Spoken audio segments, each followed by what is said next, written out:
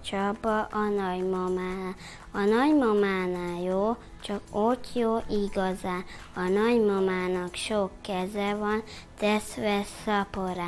Egyik kezével főz, a másikkal mosogat, a harmadik kezével a fejemen egy dudort borogat, a sokadik kezével kinyissa a tehénen a csapot, már is fistej csobog. A nagymamánál jó, mert ott van nagyapó, aki a mezőrű tücsök szagú esét hoz haza.